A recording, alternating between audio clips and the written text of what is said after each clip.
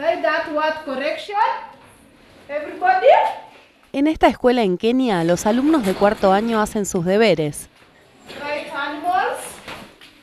Y entre ellos hay una estudiante a la que llaman Gogo o abuela. Eh. Su nombre es Priscila Sitianei y tiene 90 años. Cuando veo niños y adolescentes que no estudian, les digo, no deberías estar en la escuela.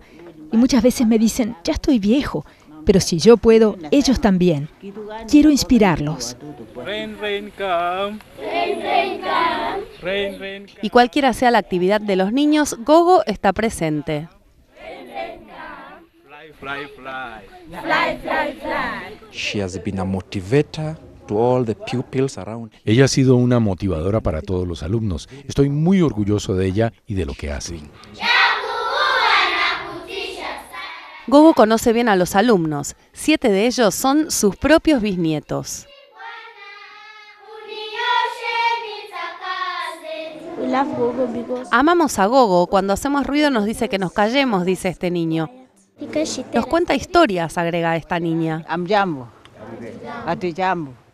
Gogo, quien fue partera en el pueblo durante 65 años, es ahora delegada de su clase y transmite su conocimiento de tradiciones tribales a las generaciones futuras. Asome. Quiero decirles a los niños del mundo, especialmente a las niñas, que la educación será su mayor riqueza. Nunca deben olvidarlo. La lección que enseña Gogo con su vida es para todos. Nunca es demasiado tarde para aprender.